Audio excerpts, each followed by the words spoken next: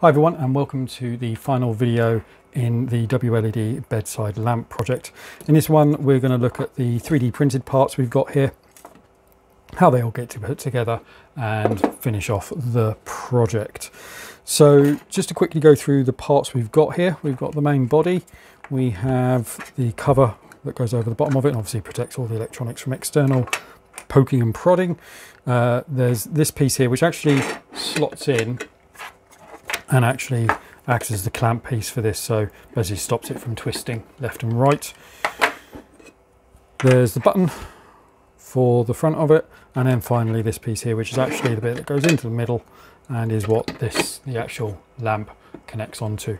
So let's get started with building this. Now I have started some of this already uh, in part, the original idea was I was going to get some done to reduce the time, but also I started doing a recording of this and completely forgot to add my microphone.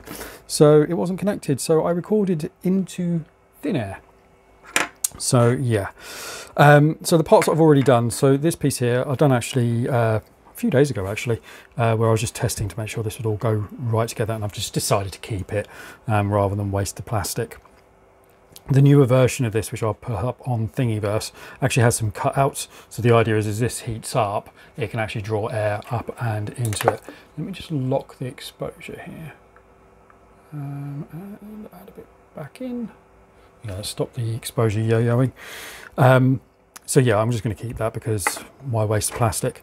This piece here, this is as far as I actually got with the first video, but I've already inserted some more brass inserts. These are actually smaller ones, they're actually cheaper as well. So uh, this is the bit that this will connect onto. I wanted to use brass inserts just for the additional sort of uh, clamping force that could be added onto it. This doesn't need a lot, I'm not going to be really wrenching the thing down, but it just means that it will hopefully hold a little bit easier and it'll be slightly easier to get everything to actually align properly without the threads being cut into it. Uh, you can obviously see I've already put the power lead on the back of it as well. So the next thing I want to do is, let's see, how are we going to get this together? Um, now the original thought I had with it was that this cable would actually feed through here, through this part of the uh, lamp and then basically through here and then into here.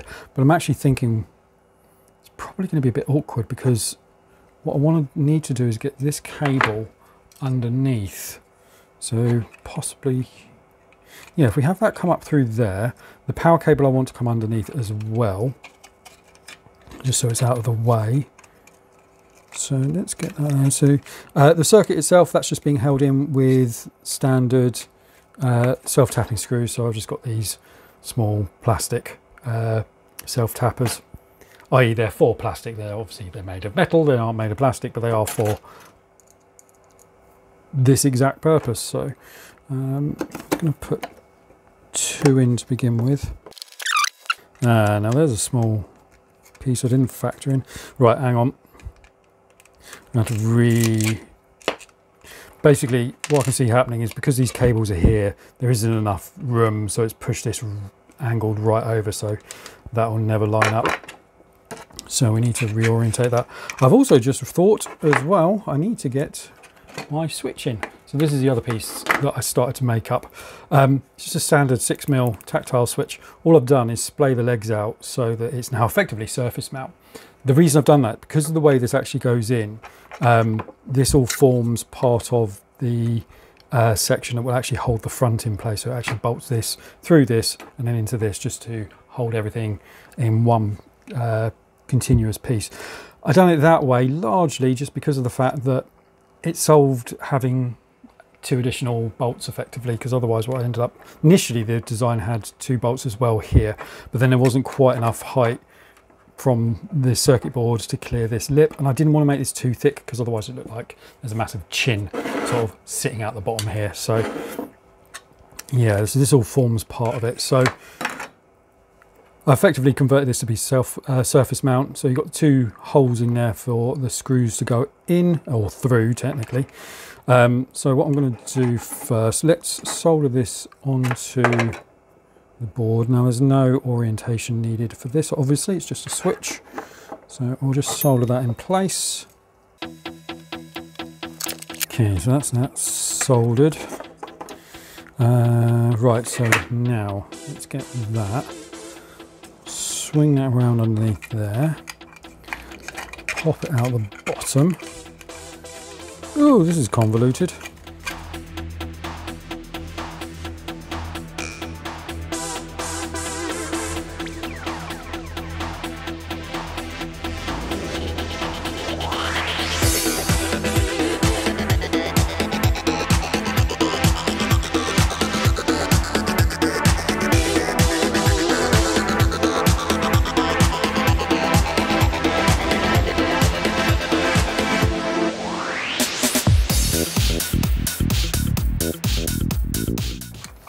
So there we go, there's our little package. Right, for next thing I want to do is plug it in and hope nothing blows up. So again, hopefully without the LEDs being plugged in, we should hear the LED click on, uh, LED, sorry, relay click on. And we don't, that's not good. Now it might mean I've got the polarity of this round the wrong way. Uh, let's open it up again and have another go.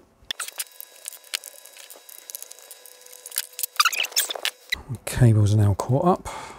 Read an article once on why cables always seem to get caught up around each other. And one of the thoughts that they had with it is that there are more ways for cables to get caught up than there are ways for them to stay separate. So with everything moving around a lot, when you've got things that are in bags that are in motion, then that's partially the reason why. So let's have a look at this. Let's plug this in. Now, thankfully, I've got my diode there, so I know even if this is the wrong polarity, I'm not going to cause any damage to my circuit. So let's try this first. And it's round the wrong way. Great. Okay. That's why we put protection diodes in.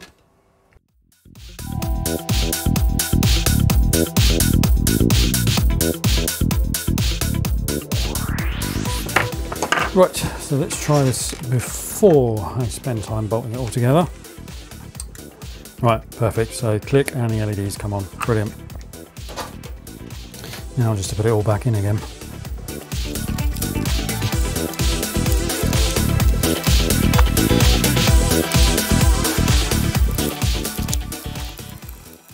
Right, so again, let's give this another quick check and make sure. Perfect. Click, and I can see the LED glowing brightly inside.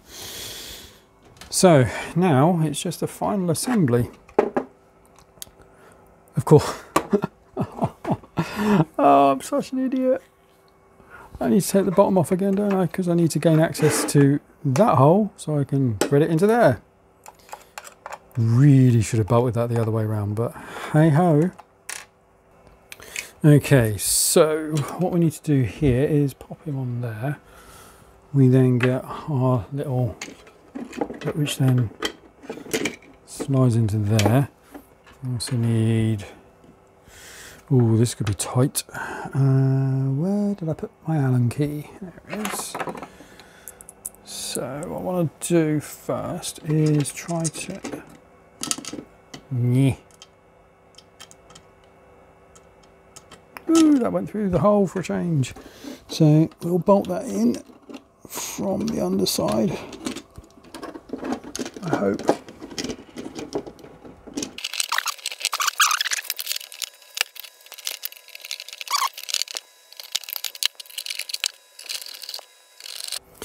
There we go. So in theory, I could have left it like that, um, but obviously this can move around a little bit. And because the bolt is on the inside, all down on the inside here, um, I don't want to end up in a situation where it moves, it falls off, and then I've got to dismantle the whole thing again. So I'll pop them in there, and that's what this piece is for. So line that up best as I can see through anyway. Pop him on, and then bolt him down.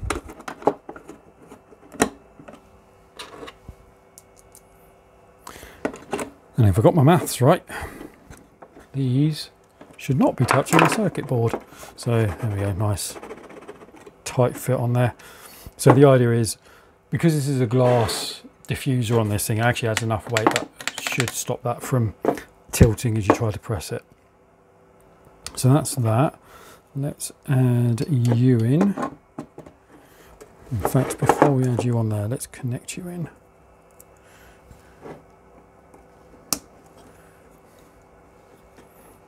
Then pop that down there. Twist it around a bit more, we can probably mm,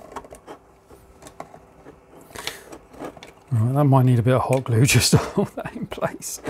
So let's plug this back in again. And there we go, perfect. So that's on.